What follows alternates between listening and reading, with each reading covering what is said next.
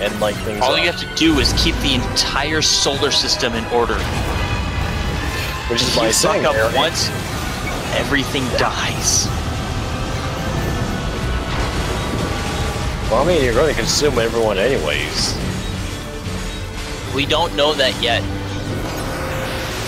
It's kinda sun's like pretty Earth. young still. everything.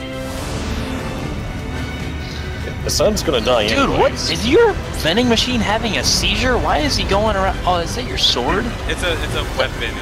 Wait, what are you calling a vending machine? I was like not even watching. He's so calling like, them pods vending machines. and Ash, he has three vending machines. I have three of them. The one Wondering, I was That like, sounds what? like That's a That sounds like the little kid that got not only oh like Wait, a what? PS3 but then a Oh, PS4, that was- but then he got like when the DSs came out, he got like a 3DS and he got like a normal one. And he got all the other ones and just kept getting upgrades every year. So like, which one is the one he doesn't use very often? He's just like, oh, I guess I can use this one now.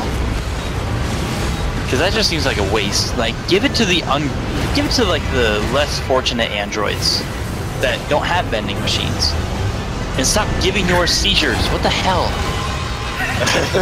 I can't fucking take this seriously because you call the pod vending machine.